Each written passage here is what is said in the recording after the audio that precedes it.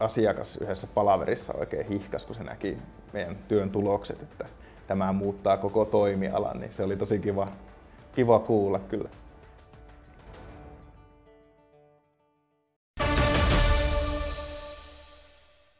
Juuri niin kovatasoinen ottelu kuin mitä ennakkoon voisi ajatella. Ainakin nämä HJK kupsottelut ovat olleet todella massiivisia viiden pläjäyksiä, kuten oli myös edellinen näiden kohtaaminen Tapiolassa, kun Honka voitti kupsi 2-0. Ja kuitenkin tulee ikaunieks.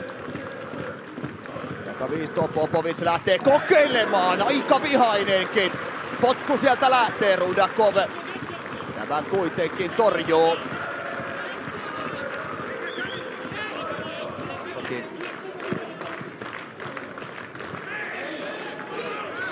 Tulee kuitenkin paha pallon menetys ja Honka pääsee vasta iskun oikeastaan kunnolla ensimmäistä kertaa Sadiko.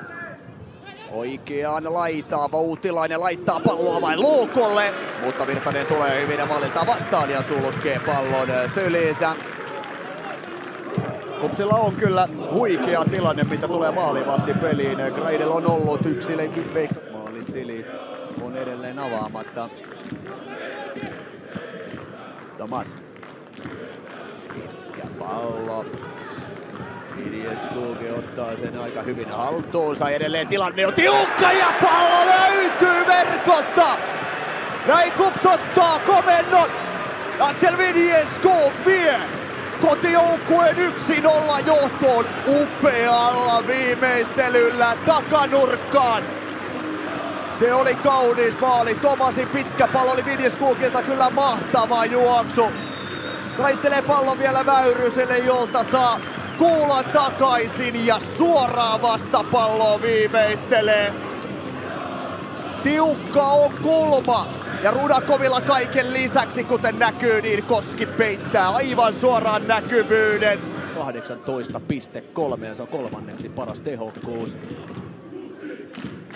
Klubi puolestaan ampunut eniten, mutta prosentti on toiseksi huonoin koko sarjassa 9,7, kun näin Honka tulee oikealta keskitys.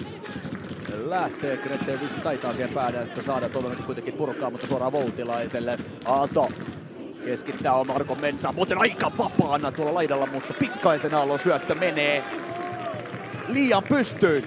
Jarko Mensa ei tähän kerkeä. Miten se tämä juoksukisa voittaa? Rudakov koski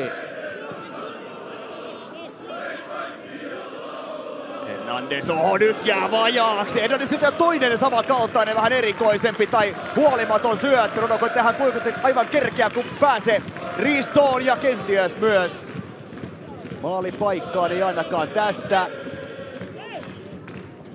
Anna Hernandez on ollut kuin muuri koko kauden ajan.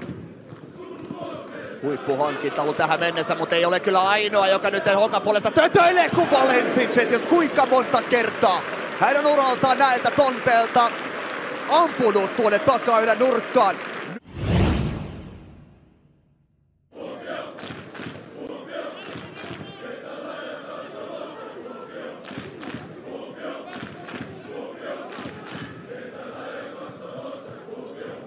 Hernandez pelaa pystyy Arko Mensa.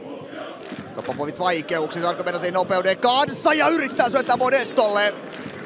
Mutta Carillo Oi oi oi, nyt sitten Ricardo tarjoilee pallon aivan suoraan Modestolle, joka on todella vahva näissä juoksuissa. Sadiko pääsee paluun pallo. Johoi! Sadiko tasoittaa tämän ottelun kauden yhdeksännellä osumallaan. Se tulee paluu pallosta. Modeston laukauksen Virtanen torjuu eteensä. Ja Sadiko jatkaa huikeaa kauttaan punttaa pelin tasoihin 57 peliminuutilla. Ja nyt puolestaan Ricardolle sattuu paha paha syöttö Erikasukavilla nopeudella. Modesto lähtee vaikeasta asennosta vielä taka kulmaa lähtee ampumaan. Ja kuin tilauksesta Virtasen käsien kautta pallo Sadikulle, joka on tilanteessa hereillä. Kulma potku Hongalle matalana ja se tulee vielä Arko Mensahille, joka ampuu pikkaisen takanurkasta. Tämä menee yli. Se oli mainio kulmapotku näytti jo hieman, että kyllä se Valensin sitä näyttää. Kokeilee ja pikkasen yli menee. Ja sitten eh, Tim Väyrynen pelaa takaviisto, Bispo ampuu ykkösellään. Hyvästä paikasta. Mutta ei saa puhdasta osumaa palloon.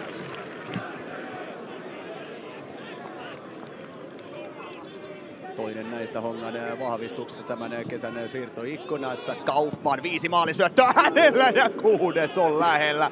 Heti ekalla tatsilla. Mutta ei saa tätä palloa jatkettua, vaan se nousee korkeuksiin. Janse Kaufman Voutilainen kolmikko tämän tilanteen takana. Oli, oli se sitten kotona niin IFK Maariahamn, niin jos tuo kotiti tosissaan täyttyy, niin silloin Tomas on siitä pelistä varmuudella pois. Mutta toki heillä on sitten tämä Nunu Musa, uusi ukko, joka pystyy Hyvin tuon tilan sitten paikkaamaan. Näin kuitenkin Valesic nousee ja lähtee ampumaan ja kaukaa hakee sitä omaa juttuaan. Mutta Valesic ei ole tänään. Onko saanut yhtään laukasta kohti maalia? Monta kertaa on kyllä kokeillut. Koutelainen nappaa pallon Valensicilta. Rane pelaa eteenpäin Koskinen ja hänen palauttaa, mutta palauttaa heikosti. Näin on taas kotijoukkueella. Saapa iskeä vastaan, tosin aika monta valkopaitaa siellä alakerrassa on. Löytääkö Pispo tilat? lähtee hänkin kokeilemaan kaukaa.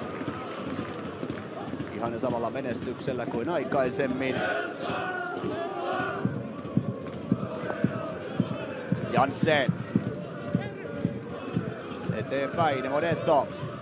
Nyt on muuten Aallolla hurja paljon tilaa täällä oikealla oli, mutta syöttö ollut riittävän laadukas. Ja sinne sitten paitsi Kario sekä Bispo tulivat molemmat tuotilla pois ottavaa kuitenkin pallo pelataan Kaufmanille, joka ottaa hyvän sen, hyvin sen matkaansa. Syöttö sinne taka-alueelle. Aalto sutii pallosta ohitse. Ja lopulta Virtanen tulee maaliltaan esiin. Kenties täällä vielä yksi ratkaisu katsotaan. Ehkä se on tämä hyökkäys. Bispo hakee haaralla. Hernandez on kuitenkin hyvin sijoittunut.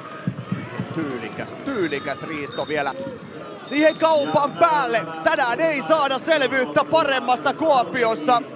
Huippukamppailu oli odotusten arvoinen ja lopulta siinä jaetaan pisteet yksi yksi lukemin.